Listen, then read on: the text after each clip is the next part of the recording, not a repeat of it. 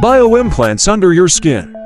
Thousands of people in Sweden put a microchip under their skin to make their lives easier and give up the idea of carrying their identities or entry cards to their offices or gyms.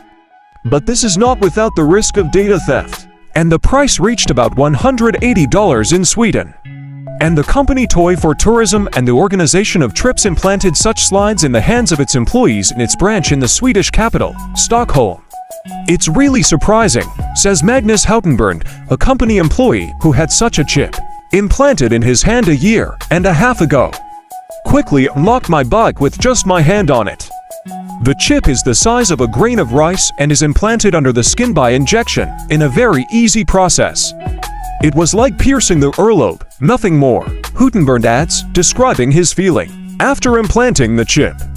The pain disappears in a matter of seconds. He explains that he does not feel the presence of any foreign body in his hand. Source in description below. Thank you for watching please don't forget to like and subscribe.